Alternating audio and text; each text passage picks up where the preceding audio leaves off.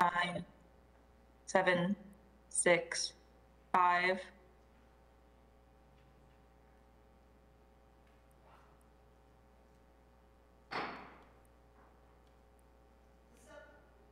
The Subcommittee on Oversight and Investigations will come to order. The subcommittee is meeting today to hear testimony on preventing pandemics through U.S. wild-borne disease surveillance. Under Committee Rule 4F, any oral opening statements at hearings are limited to the chair and the ranking mem minority member or their designees.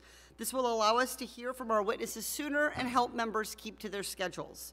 Therefore, I ask unanimous consent that all other members' opening statements be made part of the hearing record if they are submitted to the clerk by 5 p.m. today or the close of the hearing, whichever comes first. Hearing so, no objection, so ordered.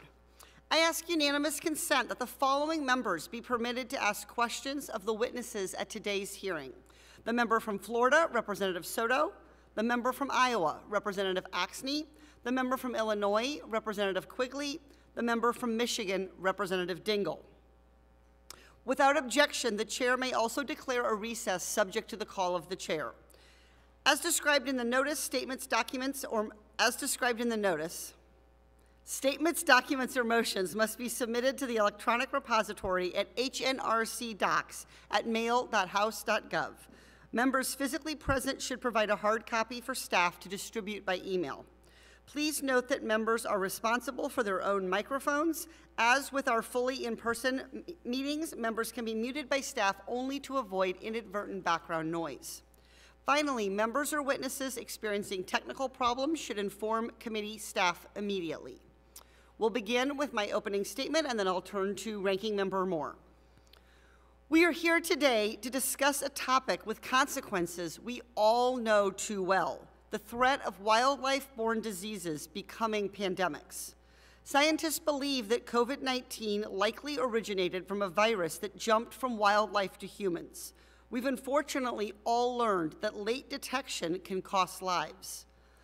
The virus that causes COVID-19 occurs in 29 species that we know of, likely more. And it's not just COVID-19. 60% of emerging infectious diseases in humans come from animals. Although most of those diseases come from animals in the wild, Congress provides far less funding for the Department of Interior to monitor diseases in wildlife than it does for the Department of Agriculture to monitor diseases in domesticated animals. That is a use of taxpayer dollars that we need to correct. Recent scientific discoveries have made clear that wildlife continue to play a role in the pandemic. A study last month found that new variants of the coronavirus create, were created in Canada after being circulated in wild deer. The same study showed that deer have likely spread COVID-19 to humans. With an estimated 30 million deer in the US, that means there's no shortage of opportunities for the virus to mutate and then be passed back to people. Researchers conducting a study of deer in Iowa found that they were infected with the coronavirus at a rate as high as 80%. The study was only possible because the state of Iowa had been tracking deer for a different wildlife-borne disease, chronic wasting disease. The researchers used the state's archive samples and had to break through many barriers to test them. While this example shows how a little surveillance can go a long ways, it also shows that we need to be more intentional about monitoring the health threats in our own backyards. These outbreaks of wildlife-borne diseases shouldn't come as a surprise. Experts have been warning about them for years.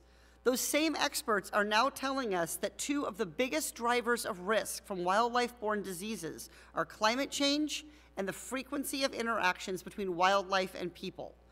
Both of those drivers are accelerating, which means we should expect more risk in the future, not less. Even wildlife-borne diseases we know well, such as the bubonic plague, need to be tracked so we can prevent them from causing catastrophic harm. Scientists, including Dr. Carlson, who's testifying here today, have found that the risk of bubonic plague is increasing and spreading to new areas in the West due to climate change. Experts warn that if we don't monitor the risk of bubonic plague closely, response times will be slower and outbreaks will be deadlier. The good news is that when we commit to systematic surveillance and rapid response, we can contain outbreaks of wildlife-borne diseases through regular monitoring of migratory birds, the source of highly pathogenic avian flu in the U.S., we've managed the risks of bird flu. If that spread had been unchecked, it would have posed a significant risk to human health, been economically devastating to commercial poultry operations, and resulted in the deaths of an unimaginable number of animals. I'm proud that this committee provided 45 million in the American Rescue Plan for states and tribes to improve surveillance of wildlife-borne diseases and rapid response efforts. This funding has already helped states prepare better for potential public health crises. But this one-time funding doesn't address the fragmented nature of surveillance in the U.S. right now, and much more is necessary to meet the need. Wildlife-borne diseases do not know state boundaries, so we need federal coordination and funding to address this problem. If we want to control outbreaks of wildlife-borne disease, we have to be able to see them. Tracking wildlife-borne disease helps us identify the source of an outbreak and predict where the next viral spillover into people will be. It could also help us stop the creation of new variants of a disease and prevent a pathogen from establishing itself in a species, as the coronavirus has in deer. There is already a well-funded, highly organized effort to track wildlife-borne diseases overseas, but we have no such effort here at home. I plan to change that with the help of experts like the ones testifying today. Thank you for appearing before this committee, and I look forward to your testimony. I now recognize Ranking Member Moore for his opening statement. Thank you, Chair Porter. We are facing several crises in America today, whether it's a health crisis, a border crisis, or an energy crisis. The work of this subcommittee should prioritize the most pressing issues at hand. As Americans face skyrocketing inflation and rising gas prices, we seem to spend time on hearings about almost anything other than addressing President Biden's ongoing energy crisis, most relevant to this committee's jurisdiction. The Biden administration continues to push policies that stifle domestic energy production and leaves us dependent on adversarial nations for energy, from canceling, the Keystone Pipeline to refusing to hold statutorily mandated lease sales for over a year the Biden administration hamstrings American energy production at every possible turn. The Interior Department should be answering for the delays they have caused in the permitting and leasing process for energy production on federal lands, which is why I introduced the Protecting Energy Independence and Transparency Act. Despite an even greater need for American energy, thousands of permits to, dr to drill and rights-of-ways are languishing before the Interior Department waiting for approval, and we'd like to know why. The administration must be held accountable for its counterproductive announcement on onshore lease sales earlier this month. The administration is raising royalty rates and only offering a small fraction of the acreage nominated for leasing. In my home state of Utah, the BLM is offering a one parcel for sale. One. Requiring higher royalty rates on these parcels will only drive up the cost of production at a time when Americans are paying record prices for gas.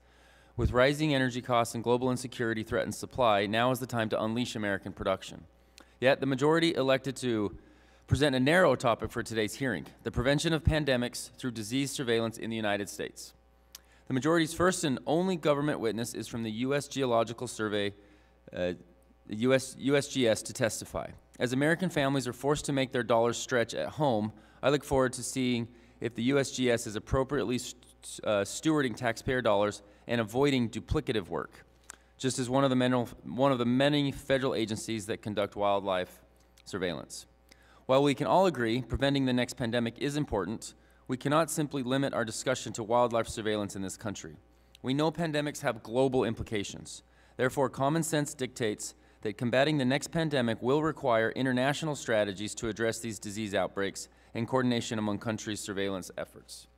Today, Ms. Catherine Semcer, will share her vast ex expertise highlighting the importance of responsible management of ecosystems on the international stage. I look forward to discussing how conservation efforts, eliminating illegal wildlife trafficking, trafficking and accountability for bad actors all play a role in reducing the risk of the next pandemic. Ms. Semcer's research on wildlife trafficking, environmental security, and the geopolitical implications of conservation will highlight the international ties woven into the pandemic prevention efforts. Responsible environmental management plays a crucial role in reducing the risk of disease spillover between species. When ecosystems are destroyed, species lose their habitats and are then crowded together. The close proximity of animals increases the chances of disease transformation between different species. For example, China's Belt and Road Initiative and the resulting practices of Chinese logging companies in Africa highlight this risks. That they highlight this risk. As companies' activities result in deforestation with the Congo Basin, ecosystems are destroyed and animals lose their home. The continuation of irresponsible logging practices will lead to greater habit, habit, habitat destruction. Ultimately, effective pandemic prevention is tied, um, is, tied, is, is tied to responsible management and development of our natural resources. Equally as important to pandemic prevention is combating illegal wildlife trafficking. This illicit practice heightens the risk of disease spread between species. Traffickers evade health inspections and crowd animals together as they transport them, increasing disease spillover. China is recognized as a leading consumer of wildlife products, including illegally trafficked products. Rather than relying on Chinese government to change their laws, we should assess steps the United States and other international allies can take to curtail illegal wildlife trafficking. These efforts to curb illegal wildlife trafficking, however, should not focus on blanket wildlife trade bans, but instead on targeted enforcement that is coordinated with local governments. We are serious about preventing the next pandemic. Bad actors must be held accountable. Until we successfully counter China's and other bad actors' dangerous practices, we will continue to face increased risks of wildlife-borne pandemics. And with that, I yield back. Thank you. Thank you very much, um, Ranking Member Moore. Now I would like to turn to our first panel and introduce our government witness. Ms. Anne Kinsinger is the Associate Director for Ecosystems at the U.S. Geological Survey. Let me remind the witnesses that under committee rules, they must limit their oral statements to five minutes, but their entire statement will appear in the hearing record. When you begin, the timer will begin, and it will turn orange when you have one minute remaining. I recommend that members and witnesses joining virtually um, pin the timer so that it remains visible. After your testimony is complete, please remember to mute yourself to avoid any inadvertent background noise. I will, this is not relevant because you're only one witness, so I don't need to allow the entire panel to testify. Um, the chair is now um, happy to recognize Ms. Kinsinger to testify. Good morning. Chair Porter, Ranking Member Moore, and members of the subcommittee, thank you for the opportunity to appear today to testify on wildlife diseases, especially zoonoses, which are pathogens that spread between humans and animals. As Chair Porter has already noted, this is a critically important issue, and a review of emerging human infectious diseases going back to the 40s found, as she said, that approximately 60% of human diseases were zoonotic in nature, and of those, more than 70% of the originated in wildlife. USGS conducts disease surveillance and research supporting the federal response to zoonotic diseases that circulate in wildlife and in the environment. Our efforts to support a One Health approach that calls for close collaboration between the human health, domesticated animal, and wildlife sectors. In particular, it supports improved biosurveillance of wildlife diseases. As with many complex challenges, a whole of government approach is needed. And USGS scientists are working closely with other federal and state agencies, including the U.S. Fish and Wildlife Service, National Park Service, USDA, the Centers for Disease Control, and the Association of Fish and Wildlife Agencies.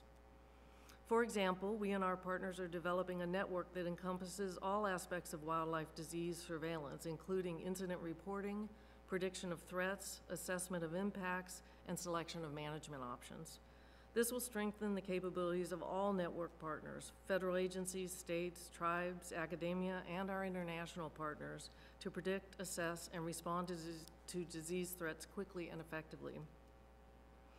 Enhanced capabilities and additional science could better, better ensure that our stakeholders, such as resource managers, emergency responders, and the public health community, receive early warning and actionable science to inform disease response efforts. We are already moving forward on this endeavor by working with the U.S. Fish and Wildlife Service to begin development of a national wildlife disease database to provide early warning of wildlife diseases. This was funded under the American Rescue Plan. In addition, DOI funding provided by the CARES Act was used by USGS to initiate biosurveillance of coronaviruses in wildlife, in the environment, and municipal wastewater. This includes integrating SARS-CoV-2 surveillance into wildlife cause of death investigations and active field surveillance, such as sampling around mink farms to support a USDA response. The USGS also incorporated SARS-CoV-2 sample collection into existing bat surveillance studies to ensure rapid detection should infections occur. Funds were also used to partner with the CDC National Wildlife Wastewater Surveillance System to provide local public, public health agencies with tests for community-level infections during a COVID-19 surge. The USGS can be nimble and responsive to these requests due to the capacity that has built, been built over decades to support the federal response to zoonotic diseases and to inform mitigation strategies which help protect both wildlife and the public health. The USGS maintains several important labs across the country, including the National Wildlife Health Center in Madison, Wisconsin, which is the only federal biosafety level three lab dedicated to wildlife health. We also support two aquatic labs that study disease, our Western Fisheries Research Center in Seattle, Washington, and our uh, E- Eastern Ecological Science Center in Kearneysville, West Virginia. Our labs, along with USGS wildlife disease experts located across the U.S., are supporting our partners with research, technology, and tools to tackle current and ongoing zoonotic diseases found on land and in water environments. These include coronaviruses, avian influenza, chronic wasting disease, rabies, sylvatic plague, brucellosis, rabbit hemorrhagic disease, salmonellosis, Lyme disease, avian malaria, and many others.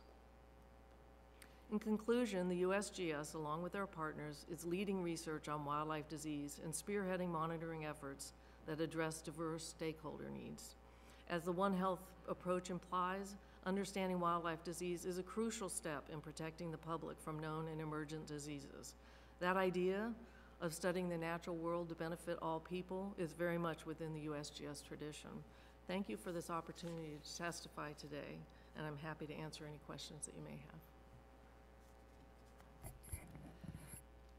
Thank you very much um, for your testimony. Reminding members that Committee Rule 3D imposes a five-minute limit on questions. The chair will now recognize members for any questions they may wish to ask the witness. Just one minute.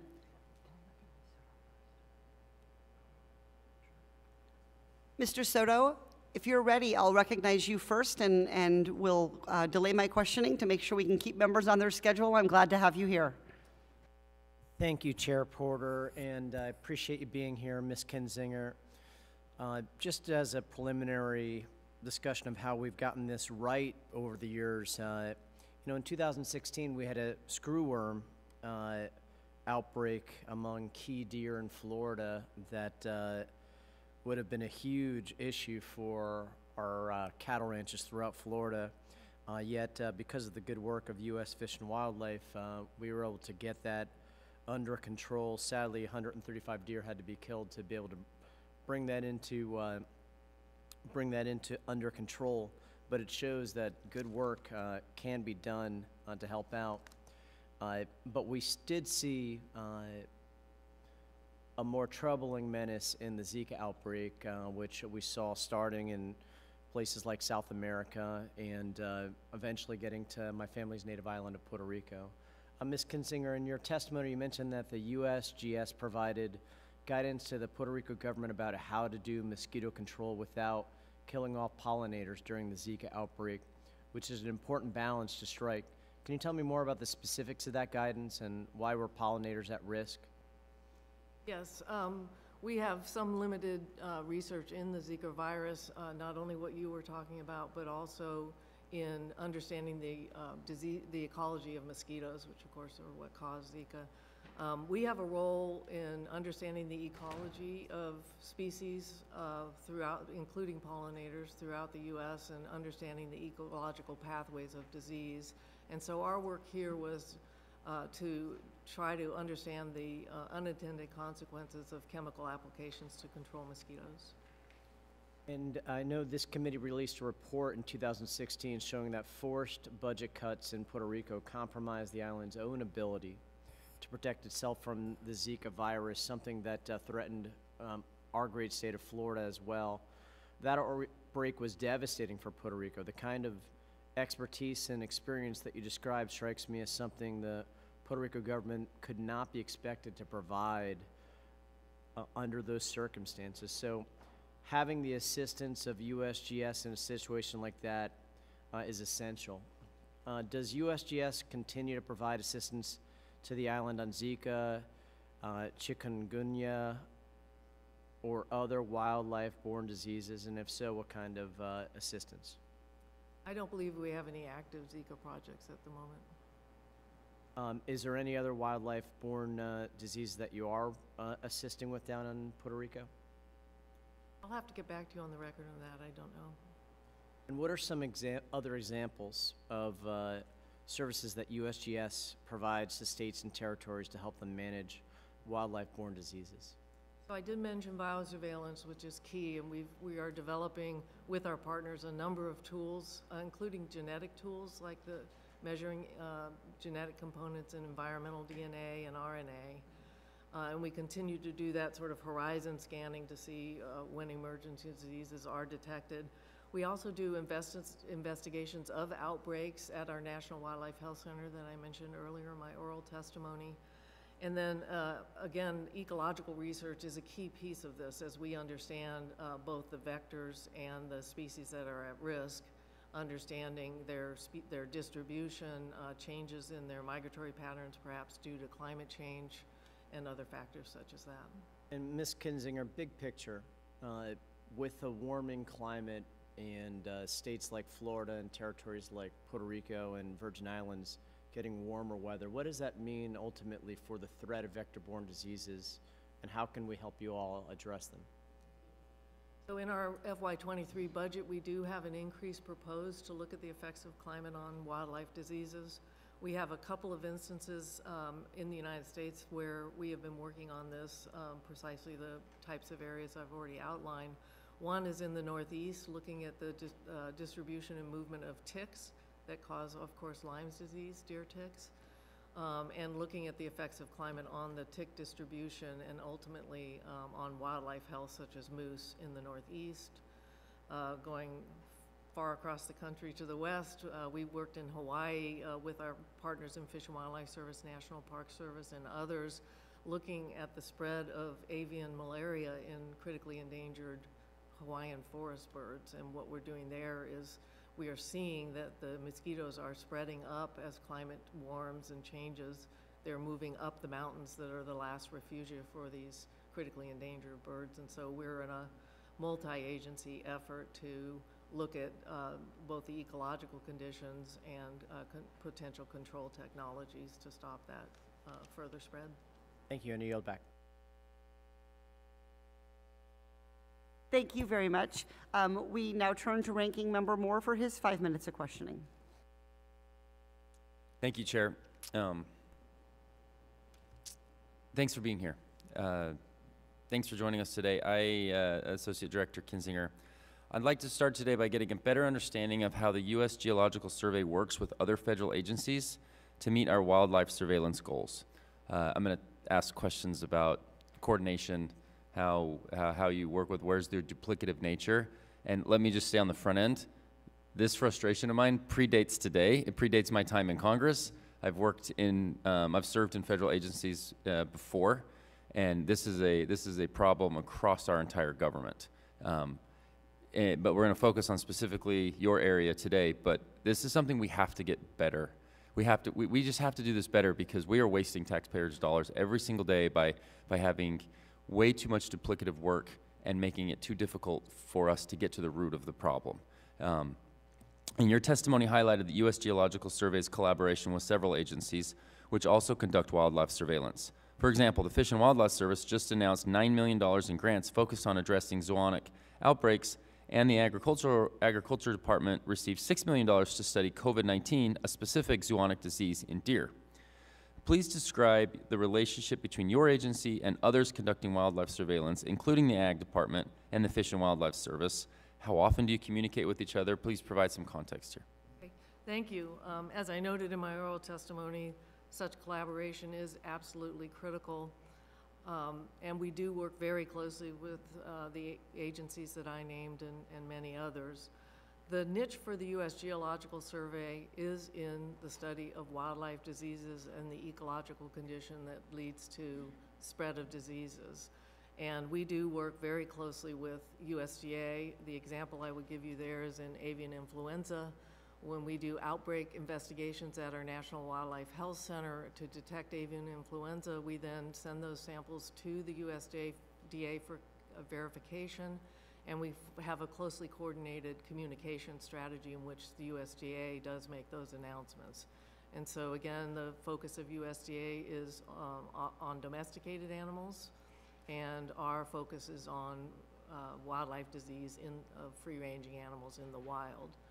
Um, Another example would be chronic wasting disease. I sit with USDA on the chronic wasting disease task force that's managed out of the Department of Interior, has uh, USDA APHIS, the Association of Fish and Wildlife Agencies, and many sister DOI bureaus in which we discuss new findings of chronic wasting disease, detection, priorities, uh, spread of the disease, mapping, and so on. So we do share information, uh, I think, quite well when it comes to chronic wasting disease. And could you share also like steps you take to make sure this work is not duplicative in nature? It is through those coordination meetings. Uh, Again, I think we have a special niche that deals with wildlife disease. uh, And uh, both the um, human health community and the agricultural community do look to us for that specialized expertise. Um, with respect to a cross-cut budget analysis, to your knowledge, has the, has the DOI, the Department of Interior, conducted a cross-budget analysis, analysis of all the department's wildlife surveillance programs? Uh, Not to, I don't know, so Okay. I'll get back to you on that. Um, yeah, without, without that type of budget, um, please do get back to us. If there is one, we'd love to, to, to be able to have a copy of it and, and, and dig into it with some of my, s- my staff. But without that, can you be confident the taxpayer dollars are being efficiently used if there's no assessment of how money is being spent through separate agencies working towards the same goal? I think that analysis could be useful, but I am confident because of the degree of coordination and collaboration and communication that we have, that we are spending taxpayer dollars wisely. Professor Carlson, a witness on the next panel, noted in his testimony that because wildlife disease surveillance is, quote, fragmented across these institutions, end quote, that it could take a researcher months or years to find the data necessary to answer one question. Kind of my, my prelude here when I, when I started this questioning uh, issue that I have. It's, it's unacceptable. Um, your testimony noted that your agency had begun developing a national wildlife uh, disease database. How will you prioritize addressing the problem highlighted here by Professor Carlson as you create this database? Thank you for that question. So the National Wildlife Disease Database is built on a current system that we have called Whispers Wildlife Incident Reporting System after, uh, at our National Wildlife Health Center. It already serves as a centralized place where incidents can be reported and additional information be included. So we're building from that outward to a system that will be accessible to all, where incidents can be reported, but also where we can combine ecological and environmental information and work with the community to develop risk assessments, um, look at adaptive management strategies, and generally just help managers bring the science together to address these concerns. Okay, thank you, thank you, Chair. The chair now recognizes the gentleman from California, Mr. Huffman. Thank you, Madam Chair. Uh, Ms. Kinsinger, appreciate you being here. And um, I noted uh, you made a reference, a passing reference in your testimony to mink farming and to um, some surveillance work that USGS is doing. I I think we're going to try to get our heads around this subject um, of animal, uh, wildlife-borne uh, diseases in the context of this current pandemic, we need to talk about mink a little bit more. Uh, I am told that, you know, even though there are some anecdotes about cats and big cats uh, getting COVID, um, mink are really the, the species where we know it has gone back and forth between humans uh, and actually mutated uh, within mink populations and then come back to us. Uh, meanwhile, uh, we produce millions of minks uh, in mink farms in the United States for export, I, I'm told, mainly to China. Um, so I wonder if you could tell us a little more about um, the the level of concern we should have about uh, these mink farms as a vector for the spreading uh, of COVID and potentially, you know, creating a, mutation laboratory almost here in the United States simply so that we can sell uh, furs to China. So yes, I do think it's a serious concern, um, as it is with other animals, both domesticated and wild, that, that uh, not only are affected by COVID-2, but also can um, serve as reservoirs for potential transmission back to humans and also to other wildlife. The USGS role in the mink farm surveillance really did focus on uh, wildlife surrounding the mink farms, and we did, uh, did test a large number of animals. I think the number was 365, and it did show um, uh, quite a lot of uh, presence of the SARS-CoV-2 virus in those animals. So what are you doing about that? Um, we're continuing to raise and export these minks, uh, as I understand it, uh, back and forth to China, of all places, in the middle of this pandemic. Um, isn't this something that we should uh, be sounding the alarm about, looking into, taking action? Well, I think, you know, as I say, the USGS role really is in looking at the wild animals. We work closely with those who do make those sorts of management and policy decisions, but I wouldn't want to speak for them. So you are purely looking at uh, the wildlife in the area around the mink farms. Do I understand that? That's correct. Correctly? Yes, and that response is being led by USDA, and so our information has been given to USDA to help in their uh, very difficult management decisions.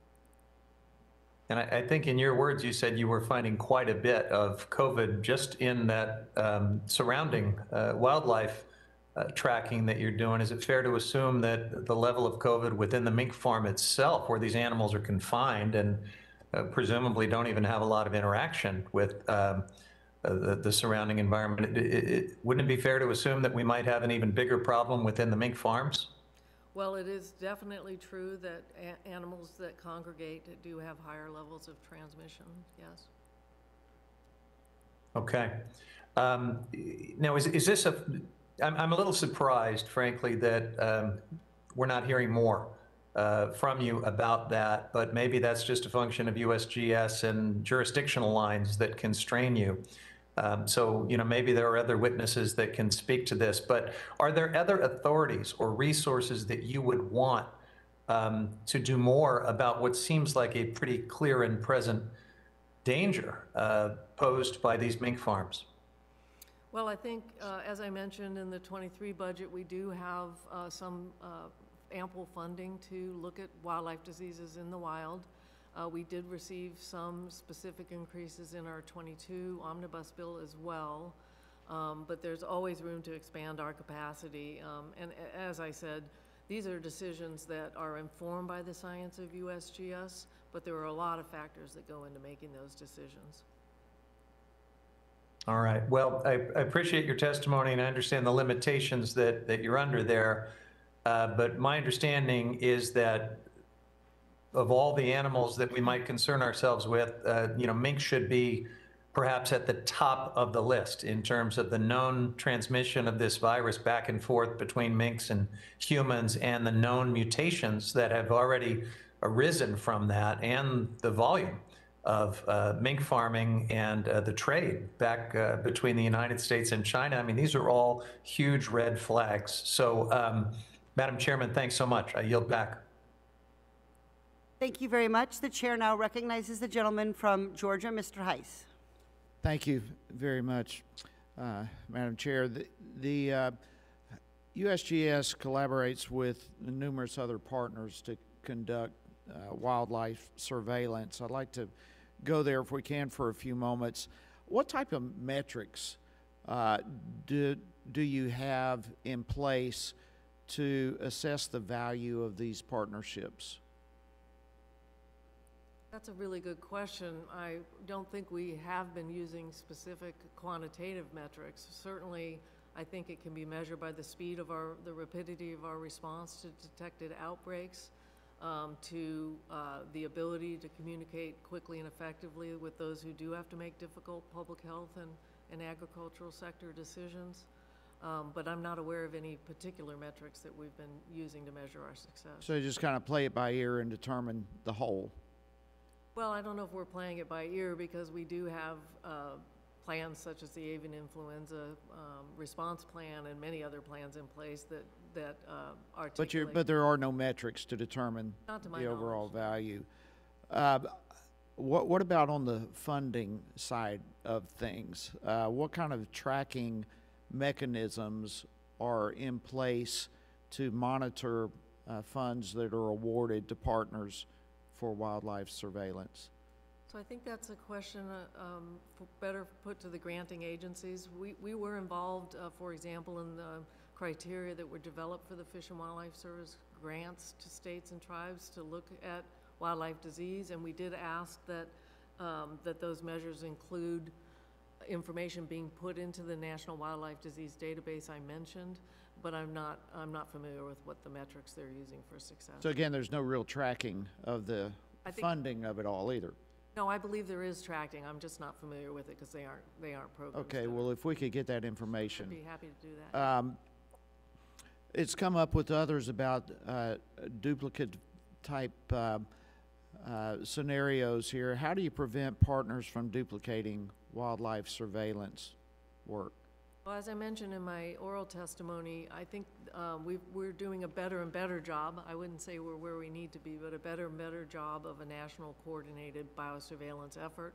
As one example, the, Amer- uh, the Association of Fish and Wildlife Agencies, with, which represents state fish and wildlife agencies uh, across the country, passed a resolution in support of biosurveillance of disease. I sit on their National Fish and Wildlife Health Steering Committee. I sit on their steering committee for the National Wildlife Health Initiative. And we've been working closely on making sure that we bring our information together and that um, the federal agencies, uh, which don't manage a lot of these species, serve as a support function for the state agencies in doing things like risk assessments and doing things like bio. Well, that, that's good if I may, because I don't have much time. That's, that's good that you're doing that, but the question is, how do you prevent uh, duplicating? Why, and, and Yeah. you're not really answering that question. How is that prevented? I believe it's prevented through the regular meetings and collaborations we have. Okay, is there, are there any metrics to determine the effectiveness of those meetings to make sure duplicative uh, work is not uh, occurring? Again, I'm not aware of any quantitative metrics. I think the quality of our response is probably the best, best way to look at that. Do you think it would be a good idea to have some metrics? And I, I could definitely take that back to our community and get back to you on that. Okay, uh, I think that would probably be a good idea. I'd like to transition, if I can, about um, how your agency provides uh, information to the CDC. Can you kind of walk us through that uh, process from USGS's, uh, when you detect a disease uh, to when uh, your agency alerts the CDC of the findings? What's the process there? So um, there, there are different processes depending on the disease. As I mentioned with avian influenza, our primary partner there is the USDA. But for uh, other diseases, uh, we have a vast network of collaborators that we um, share our results with all the time. We also release what we call technical bulletins from our National Wildlife Health Center that goes out to all the key decision makers in multiple federal and state agencies. What kind of steps are taken to verify your findings uh, before initiating the process? How do you know that you know what you're doing? So um, we certainly try to design our research so it's replicable, and we do multiple tests when we do them. And in some cases, we do have independent labs like the USDA verify our results. Okay, thank you. Thank you, Madam Chair. Thank you very much. Uh, The chair now recognizes the gentlelady from Michigan, Ms. Dingell, for five minutes. Thank you, Madam Chair. I really want to thank you and Ranking Member Moore for convening this important and timely hearing on wildlife-borne disease surveillance. It's important to note that in addition to COVID-19, we have to be mindful of spillovers of other zoonotic diseases that could pose significant public health risks to Americans. In fact, even prior to the current pandemic, there was a historic outbreak of eastern equine encephalitis in Michigan in 2019 that infected 10 people, killing six and leaving at least one survivor with permanent disabilities. For comparison, in an average year, there are seven cases of this disease in the entire United States. So we have to take seriously this potential threat to America, America's public health and ensure that there are appropriate systems in place for surveillance and detection of these types of diseases. Uh, Ms. Kissinger, in your testimony, you speak about how experimental research discovered potential for previously unknown wildlife to wildlife transmission in the West Nile virus, another mosquito-borne disease. Could more wildlife disease research help warn us about the new risks to human health and how? Yes, I believe uh, greater surveillance could help in warning about the risk. Um, And specifically, I mentioned the use of uh, genetic capabilities, so uh, not a disease example, but uh, for example, um, learning to detect Asian carp in the Great Lakes, we developed these field tests where samples could be analyzed on the spot uh, to detect for the presence of Asian carp. And I think tools and technologies like that would be a significant boost to our uh, national network of biosurveillance. So building on that, in your testimony, you talk about the development of a test for eDNA. Is that the same eDNA that has been essential in tracking invasive carp near the Great Lakes? Yes, How has that technology changed the way we manage invasive carp? Yes. That, that is the technology I was referring to. Environmental DNA is uh, when you search for DNA in waters and soils and plants and the like. And um, I think that's essential for early detection because if you wait for, um, well, in the case of chronic wasting disease, for example, animals don't appear to be sick, don't show symptoms for months at a time. And so it's really important to detect these uh, disease agents early on, either in the live animals or in the environment. But then how does that technology help us manage it better? Yes, detect, but how does it help manage? What do we do? So uh, a couple examples. One, the key is, uh, particularly as I mentioned, combining our eco- ecological research, which understands how animals move, where they go. Um, We've uh, done work in avian influenza, for example, to look at the, um, the overlap between wild and domesticated birds. How are the um, Cuban And cookies? certainly human interaction. So all of those factors Have will you- allow our us agent knows? to Service agent predict said they were really- where these He didn't- diseases might bunch of- bunch occur of- um, before they get there. Oh, there's doors, doors, And then we and can some of them put put in little. place of uh, Oh, biomanagement, yeah. um, biosecurity measures to prevent that spread. Heavy for breakfast. Um, I know, I was just gonna say, that's. Thank you. Thank you. Well, I guess Someone we're needs saying to I'm mute their settling in mic. for the day. You know? Don't know who it is, but Hey, Steve, you got to mute. Sorry. you figured, figured out who it was. Thank you, Jared.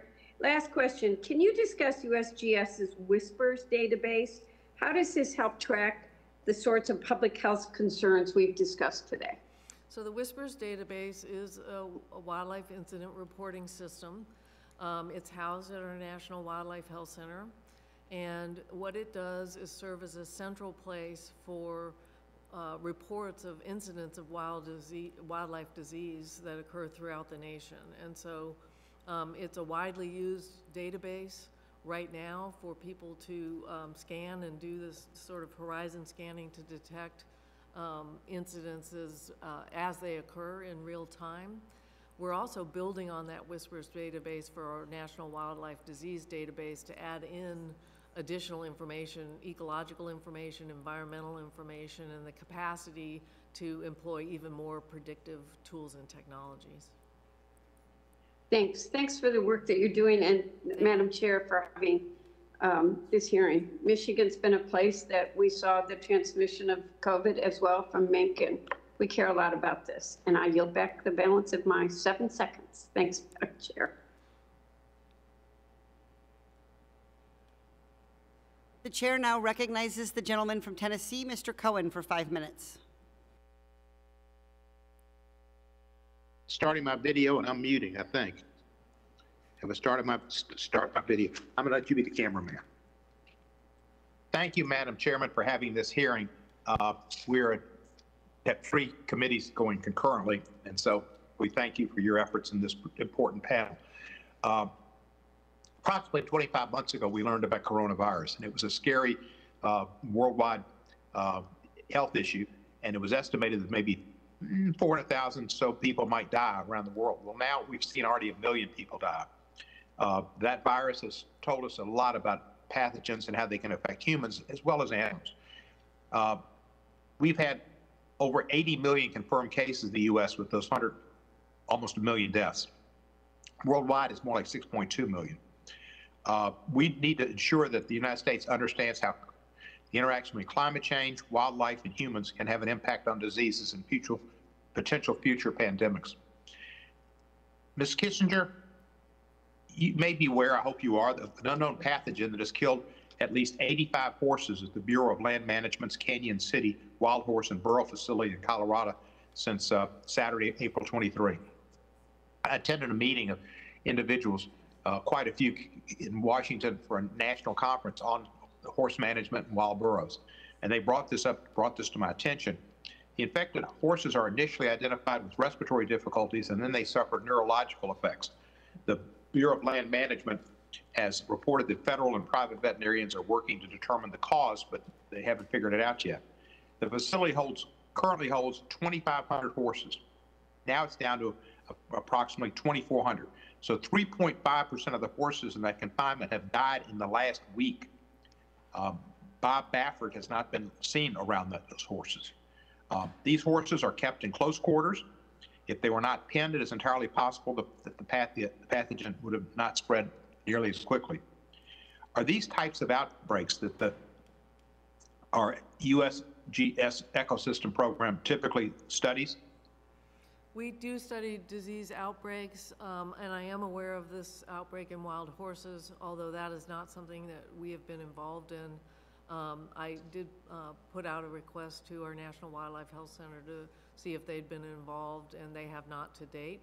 Uh, but we have a very close working relationship with the Bureau of Land Management. We've done other non-disease related work on wild horses, and um, I, so I'd be happy to keep the committee apprised of, of uh, any additional information that comes out of that. If you would, the disease and the death is certainly disturbing, and that's the subject of this hearing, but I'm concerned about the horses and the burros in general. So if you'd let us keep us informed on that, I'd appreciate it. Uh, these, these, as we know, they could affect other than just the horses. We don't know. Um, and, and the Bureau of Land Management has not been very uh, effective in, in, in this process. The ranchers like to use that land out there, which they pay ridiculously low uh, fees for, a dollar per uh, cow, uh, which hasn't been changed a month, which hasn't been changed that fee for a couple of decades. And the cows are about twice as large now, so they eat a lot more, but it should be more like $20 based on 20 years and, and, and, and, and the size of the cows, but they we subsidize it. You know, sometimes you, you heard the expression, there's no such thing as a free lunch. Well, when the Bureau of Land Management's involved with cattle ranchers, it seems like there is such a thing as a free lunch. And then they move the horses away because they say the horses are eating the, veg- the, the, the raw materials there. And, and the horses get pinned up and taken, and sometimes they end up being shipped off to Mexico. However, people buy them, but they're not supposed to.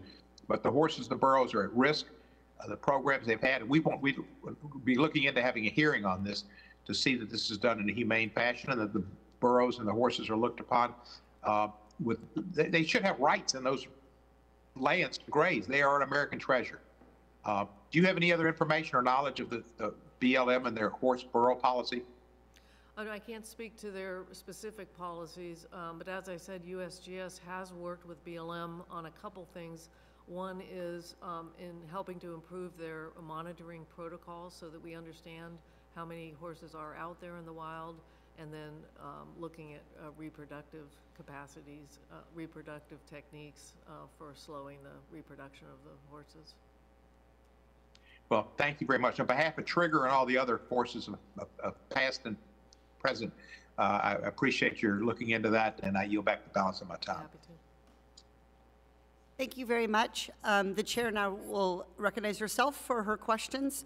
Um, Ms. Kinsinger, you said earlier that there is always room to expand capacity, um, and you made a kind of general statement that there's, there's, the, there's the potential to improve. I agree with my Republican colleague, Mr. Moore. Taxpayers deserve to know that their money is being spent effectively, and public health is an investment. It can save money. Um, pandemics are devastatingly expensive, which is something that I think we can find bipartisan agreement about. It is fiscally responsible to give USGS the necessary funding and to hold it to account on how it uses that funding. And so I want to invite Mr. Moore to work with me in a bipartisan way on legislation to try to improve coordination, save resources, um, and be able to do a better job with the funding that we are giving to prevent future pandemics. So I want to ask you to be as specific as you can be with the committee. Um, if we were to give you more funding, what would you do differently? How would it protect the American economy and the American public? So I'll take that last piece first. I, I, um, we often talk about the direct effects of pandemics, for example, the billions of dollars in poultry that have to be destroyed during an avian influenza outbreak. Um, but there's also a huge cost associated with preparing for pandemics and preparing to respond to pandemics. So it's, um, it's probably an even larger price tag than folks realize. Um, in terms of what we would do with additional capacity, um, that, that would be on several fronts. One would be to um, expand on our outbreak investigations, uh, to be there at the table immediately when, um, for example, when a wild bird is found dead, uh, to be able to test it immediately for, um, for any, any disease. We would do tests on a suite of diseases. The other, as I've mentioned several times, is in the biosurveillance realm the ability to develop these rapid markers for detecting disease. And, and by the way, this is also very useful in invasive species as well, which are a billion dollar cost to the, the economy. And then also continue to invest in ecological research because it's critically important to understand how animals move, how they interact with domesticated animals and humans. And just to give one example of that, we've been studying migratory birds for decades now. Um, started with the hunting community and making sure that we could work with um, state managers on their harvest strategies. But when the avian influenza appeared in 2006, USGS was right there with the ma worldwide maps of migratory patterns. Um, and so we were able to quickly see that areas of migratory bird layovers and areas that had uh, avian influenza outbreaks were critical sources for um, avian influenza entering the United States we established a monitoring program in Alaska the, with the Fish and Wildlife Service so that we could test birds coming in on that flyway, the Pacific Flyway, um, to try to rapidly detect AI. So I think there's a lot that can be done in that, in the ecological research as well. So uh, I hear you say rapid, develop rapid markers. Um, ecological research, which I think you did a terrific job of explaining. Um, I wanted to ask you about our next panel is going to talk, I, I, think, a lot about data. Um, and so I wanted to ask you specifically about um, central repositories of data, about whispers, the database. If you could explain that to the committee and talk about how we could improve that. And then specifically, I, would invite you to respond in more detail to what Mr. Moore raised about Department of Agriculture and coordination across departments, because I, I hear a strong willingness to coordinate. I'd like to know if we gave you more resources, could you coordinate better, and what would that look like? Um, so I'll answer the last first, and I may have to ask you to repeat the first. um, so we have uh, significantly ramped up our coordination with agriculture, and I think I've talked about that. I think the most important mechanisms um, are to have specific pathways for sharing information. We have some really specific protocols in place, as I mentioned, for avian influenza. We can do that with multiple diseases and early detection. Um, we have, as I say, as part of that strategy, a joint communication strategy. We understand who makes the first, uh, who conducts the first tests, who validates that, and then mo most importantly, who communicates that and how. Um, and that has, particularly with diseases that have significant economic impacts, we have to be very thoughtful about how we communicate those diseases. And with apologies, could you repeat the first question? Yes, um, the first, now, oh, the first question was about whispers and centralized yes, data. Yes, so um, it is really important to have a central source of data. I think that, um, that it's uh, a huge cost alone just to have researchers out there looking for where they can find collaborators and information. So the Whispers database has been in place for some time at the National Wildlife Health Center. The Whispers stands for Wildlife Incident Reporting System. Um, and we, we already are used by many, many partners um, who put, not, not only input data on the incidence of disease, but also use it to um, do, conduct health assessments, risk assessments, and the like. Um, with the ARPA funding, the, which went to the Fish and, forty-five million dollars went to the Fish and Wildlife Service. Of that, six point five million, uh, came from Fish and Wildlife to USGS to expand that system into a national wildlife disease database. So we'll build on the incident reporting capacity that we already have in place in Whispers, but become more of, a- even more of a decision support tool by incorporating environmental data, uh, ecological data, um, and uh, most importantly, some web-based tools so that folks can get in there, see the incident, conduct risk assessments, and use that information to make their on-the-ground management decisions. Thank you very much. Um, I think we are now, unless there are any other members who wish to question on this panel, I think we're now ready to transition to our second panel. Um, Thank you very much, Ms. Kinsinger, for your testimony. We'll now pause while we reset for the second panel.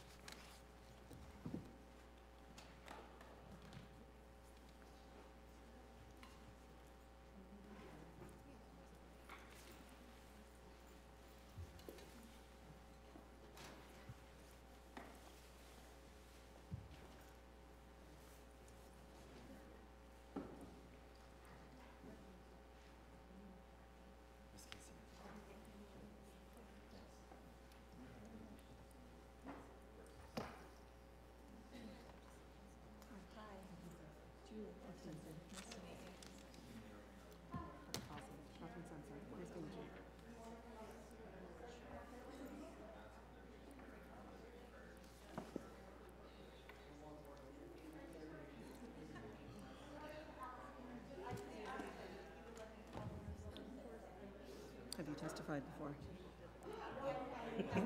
Oh, I, uh, you testified two years ago in the Senate hearing on. I did, yeah. Very, very good stuff. Thank you. Yeah. I Gotta just be talking about some of the same issues. I mean, they're not resolved, right? They're not resolved, exactly. And the work you all are doing is critical. Um, but it's a, it's a mosaic of approaches, right? You know, it's not, there's no silver bullet. I think that's exactly right.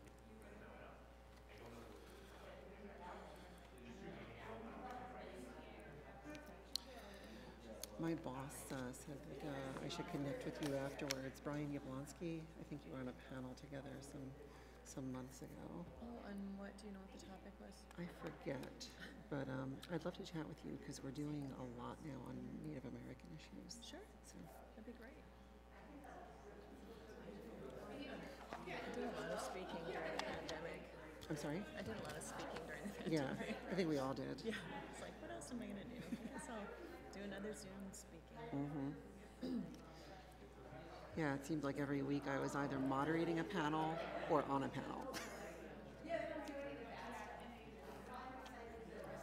Where's Brian at? Uh, Property and Environment Research Center, PERC. I probably have to joggle my memory a little bit. Yeah.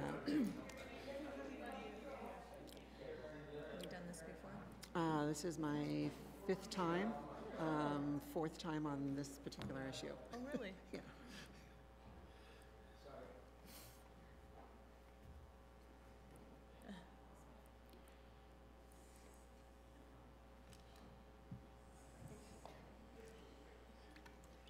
Right, we're now going to uh, go ahead with the second panel. Um, Before introducing our witnesses, I want to remind non-administration witnesses that they are encouraged to participate in the Witness Diversity Survey created by the Congressional Office of Diversity and Inclusion. Witnesses may refer to their hearing invitation for further information.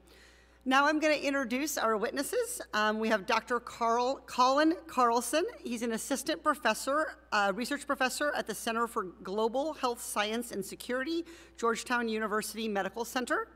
We have Dr. David Stallknecht. Necked. I'm going to get this one wrong. Dr. David Stallknecht.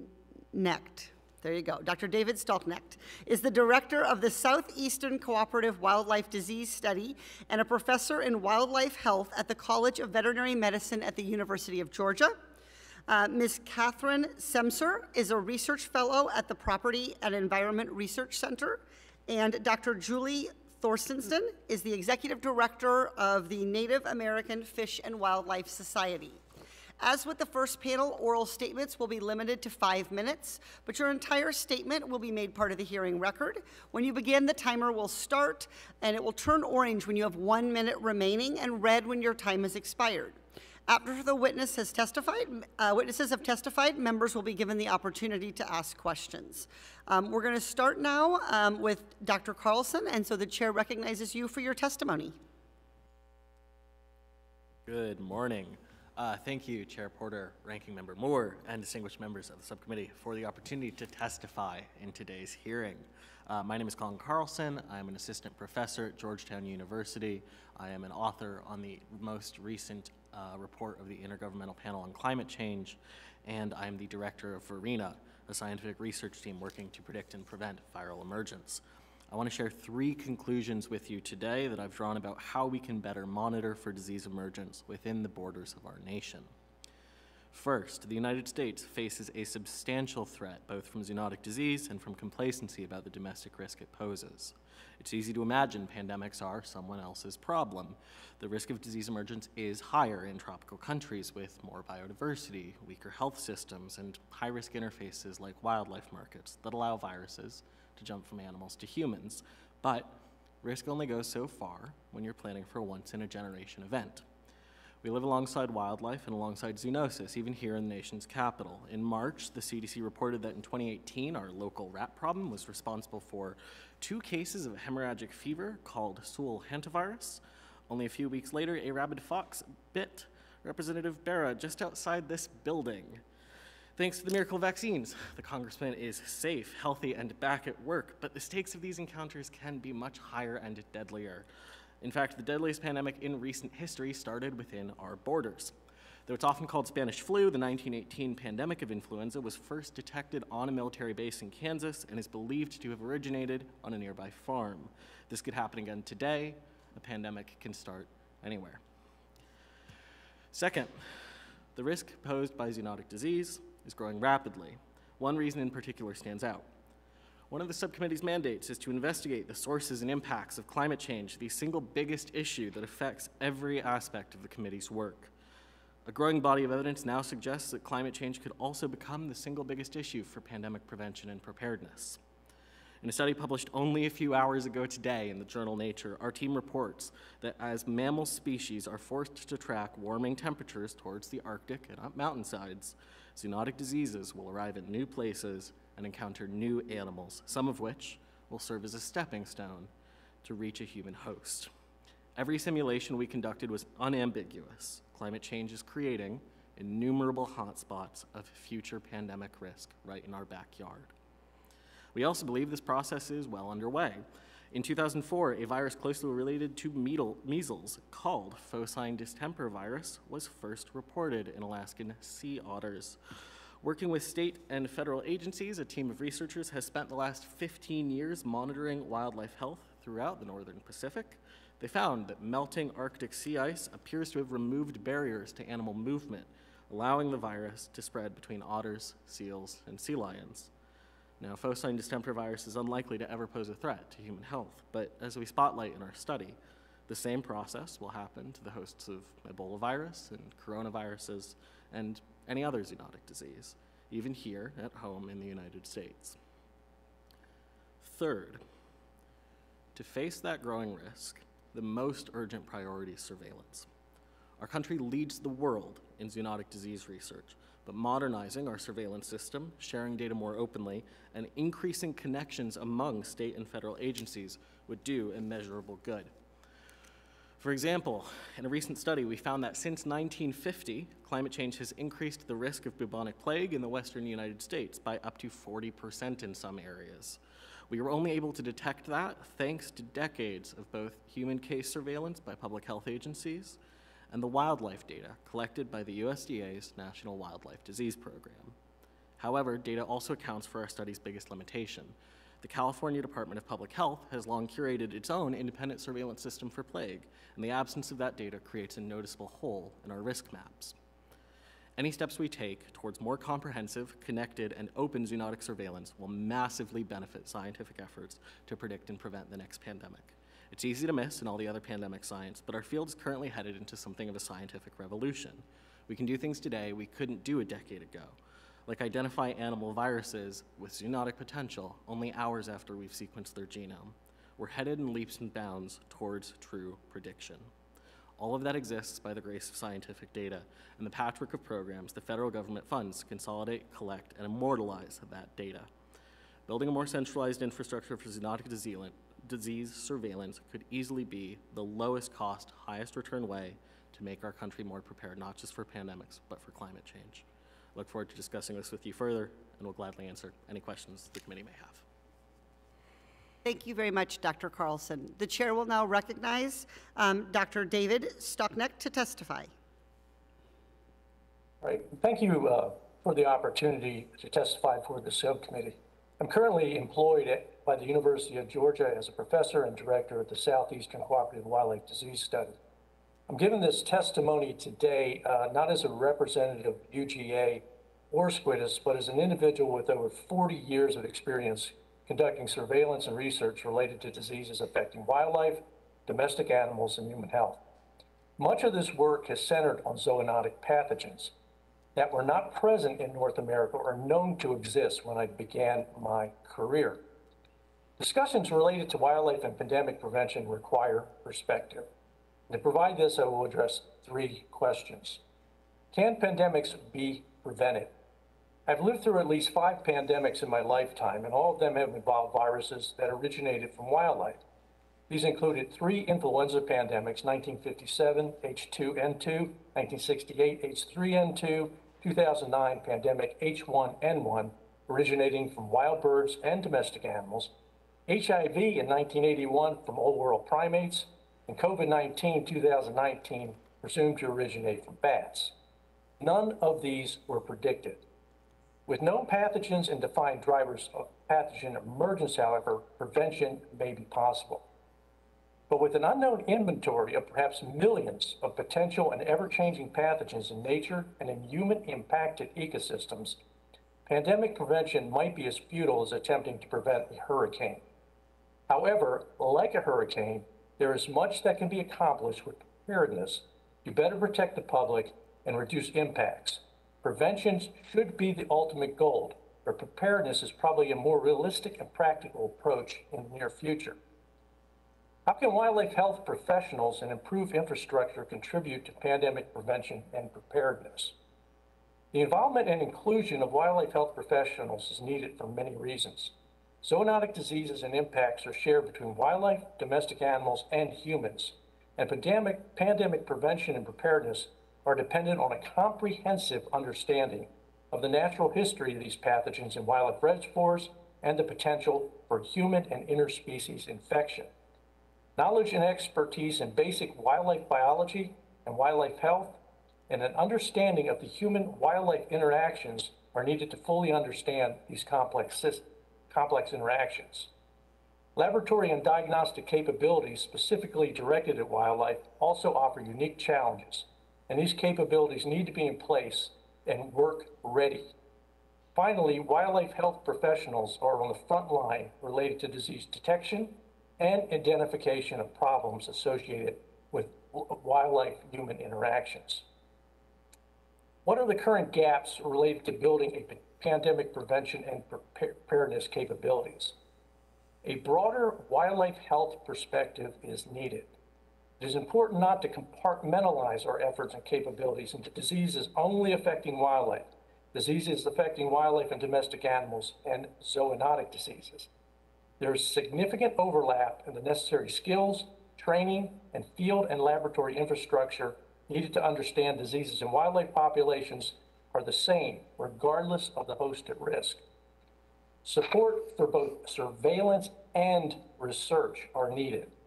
Surveillance approaches, capabilities, and effectiveness cannot be improved or even understood or, or, or developed without a basic understanding of infection, disease, or transmission processes. Sustainable funding is needed, eh, needed and, and recognition that success most often requires a long haul approach. Goals related to pandemic prevention and preparedness cannot be achieved through a boom and bust funding trajectory based on a short-term response to the current crisis. And finally, within state wildlife health infrastructure and professional resources need to be better supported. This is perhaps the biggest gap. State wildlife health professionals are the frontline troops and are the critical part of our national wildlife disease network. But with few exceptions, in-state capa capabilities are not even close to being adequate. And thank you for your attention. Thank you very much. Um, the chair now recognizes Ms. Catherine Semcer to testify.